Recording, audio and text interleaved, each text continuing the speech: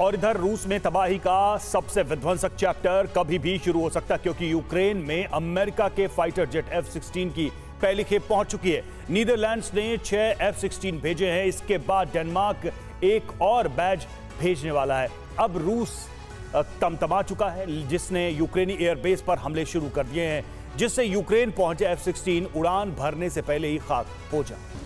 अभी तक बैकफुट पर चल रहा यूक्रेन अब रूस में भयानक तबाही मचा सकता है। क्योंकि यूक्रेन एफ़ 16 से रूस में घुसकर हमला कर सकता है।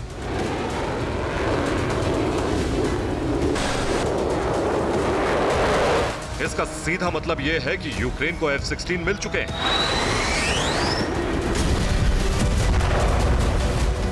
रूस ने दावा किया है और एक तस्वीर भी जारी की जिसमें एफ़ 16 प्लेन दिख रहा है। ये वही तस्वीर है। इसके अलावा एक वीडियो भी जारी किया है, जिसमें ओडिशा के ऊपर एफ़ सिक्सटीन उड़ान भरता दिखा है।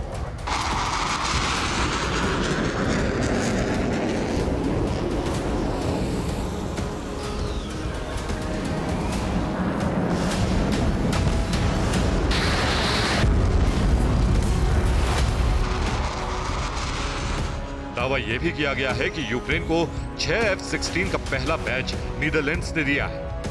जबकि अगली खेप डेनमार्क से आने वाली है।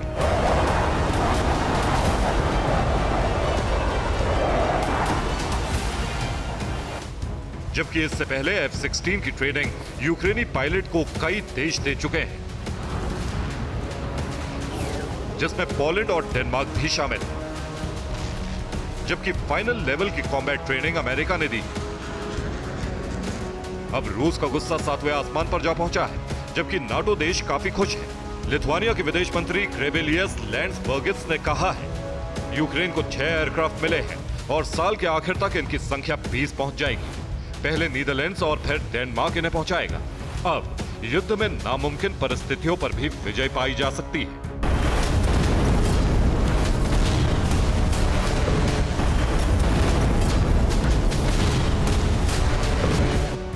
रूस के लिए यह परेशान करने वाली खबर है।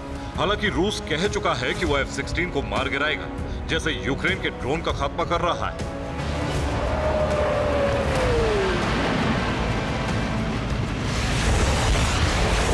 हालाँकि अभी यूक्रेन एफ़ सिक्सटीन की तैनाती फ्रंट लाइन पर नहीं करेगा। हो सकता है यूक्रेन पहले रूसी टारगेट फिक्स करे, उसके बाद भीषण हमले शुरू करे।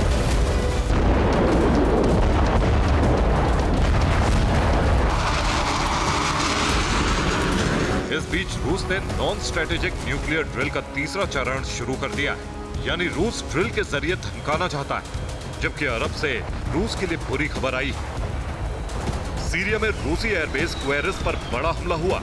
ये उसी की तस्वीरें बताया जा रहा है इस हमले के पीछे यूक्रेन है।